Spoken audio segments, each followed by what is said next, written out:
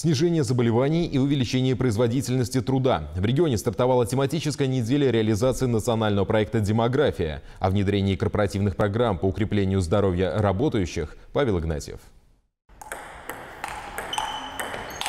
Несколько лет назад на этом месте располагались производственные площади. Старое оборудование, как и серые стены, канули в лету. Вместо них на территории УльГЭС появился спортзал для сотрудников предприятия. Три раза мы ходим в неделю, вот так в обед, собственный обед, чтобы маленечко размяться и поддержать спортивный дух на предприятии.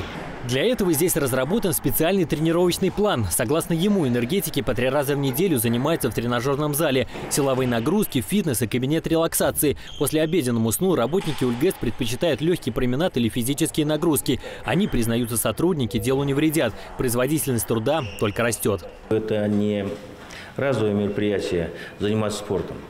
Это полномерная работа на предприятии, которая формируется. До моего прихода на предприятие было мое время. И если я уйду, также продолжение также будет эта программа оставаться.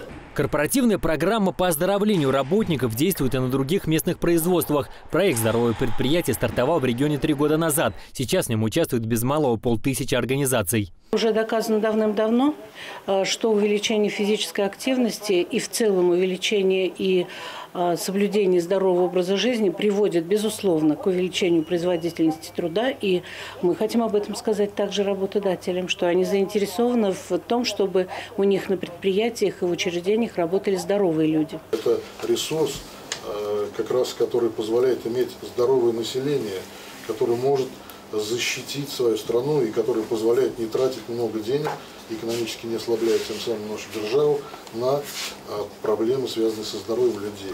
Сейчас российский Минздрав разрабатывает модельные корпоративные программы. Главная цель – формирование сильной и здоровой нации. А тем временем на местном уровне решает, как сделать так, чтобы проект заработал на всех предприятиях региона. После формирования правильной с точки зрения здравоохранения рабочей среды специалисты прогнозируют уменьшение заболеваний, а вместе с тем – рост объемов производства.